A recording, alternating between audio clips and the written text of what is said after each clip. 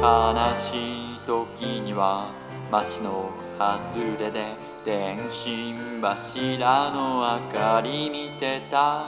七つの僕には不思議だった。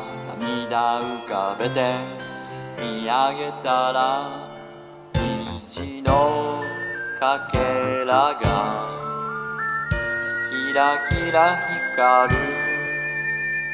瞬きするたびに形を変えて夕闇に一人夢見るようで叱られるまで佇んでいた。ああ僕はどうして大人になる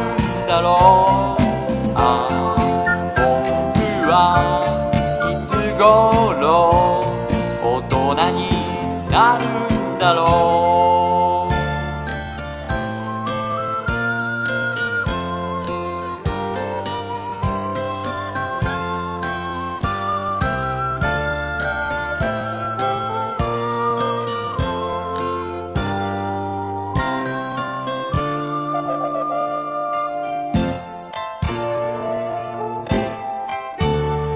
目覚めた時は窓に夕焼け妙に寂しくて目をこすってる。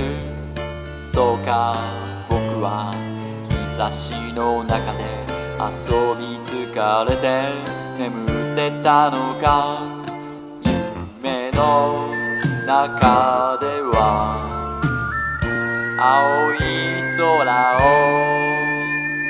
自由に歩いていたのだけれど夢から覚めたら飛べなくなって夕焼け空があんなに遠い。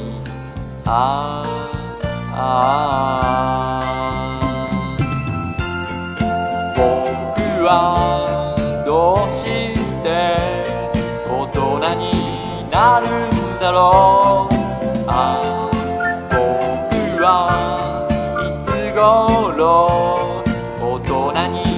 あるんだろう。